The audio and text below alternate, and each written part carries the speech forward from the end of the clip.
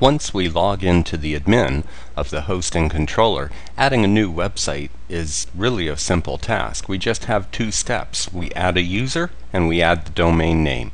So first we're going to add the user by clicking on the user manager. Then we click add user and we give the user a name. I'm going to give this one uh, login name of Carrolls, C-A-R-R-O-L-L-S. Then I'll give it a password.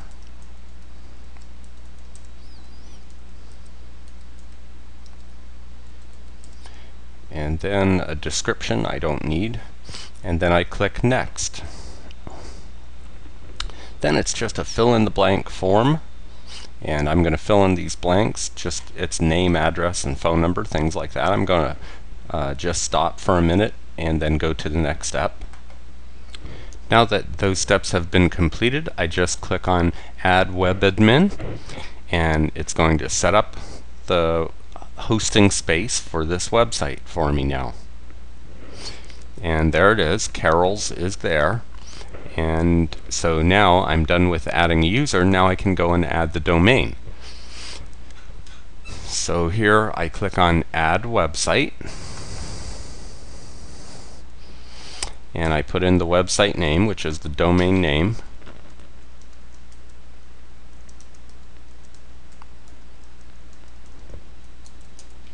And then I'm going to select the user that I just added. There it is Carol's. And now it is a name-based domain. It's and I do want mail access so I'm going to give them a mail password and then I click next. And then uh, click next one more time. And then it's showing the the um, IP address which uh, doesn't change. We just leave that there. And then add website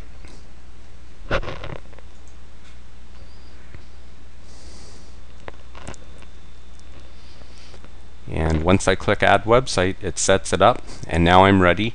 There's my that IP address I can use for FTP the username it carols in this example is the username for FTP access.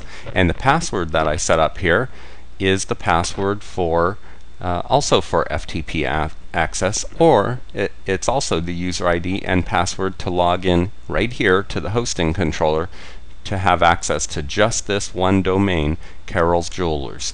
And that's all there is to it. It's just that easy.